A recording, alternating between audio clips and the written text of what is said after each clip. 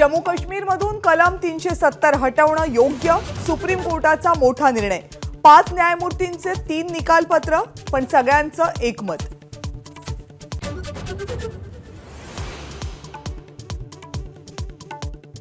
जम्मू काश्मीरमध्ये सप्टेंबर दोन हजार चोवीसपर्यंत निवडणुका घ्या सुप्रीम कोर्टाच्या सूचना.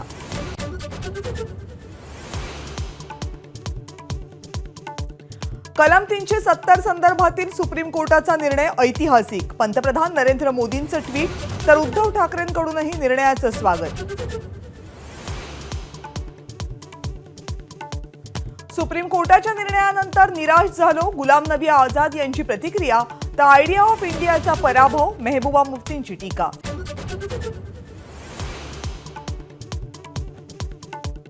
सरकारच्या धरसोड वृत्तीचा शेतकऱ्यांना फटका. कांदा निर्यात बंदीवरून शरद पवारांची सरकारवर टीका.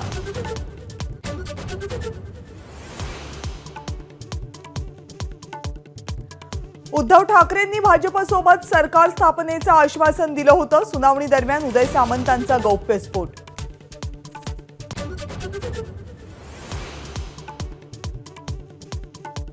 संजय राऊतांविरोधात प्रसाद लाड पाचशे कोटी रुपयांचा मानहानीचा दावा करणार क्रिस्टल कंपनीवर केलेल्या आरोपांनंतर प्रसाद लाड आक्रमक.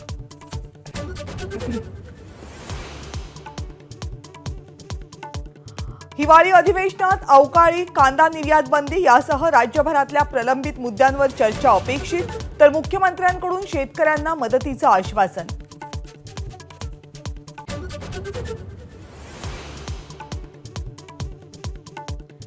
दिल्लीमध्ये इंडिया आघाडीची बैठक एकोणीस डिसेंबरला. भाजपा आणि मोदी सरकारच्या कारभाराविरोधात सत्तावीस पक्षांची एकजूट.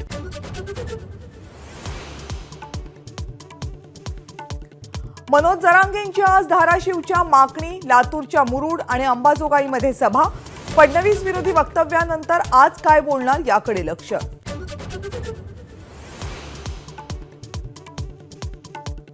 मेळघाटमधल्या बालमृत्यूचा दर दहा वर्षांच्या तुलनेमध्ये कमी मात्र तरीही गेल्या सहा महिन्यांमध्ये त्रेचाळीस बालकांचा मृत्यू बहुतांश गावांचं स्थलांतर.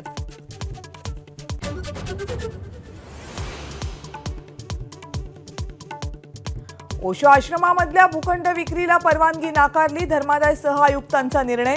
राहुल बजाज कुटुंबियांच्या विश्वस्त मंडळाला एकशे सात कोटी रुपयांना केली जाणार होती विक्री.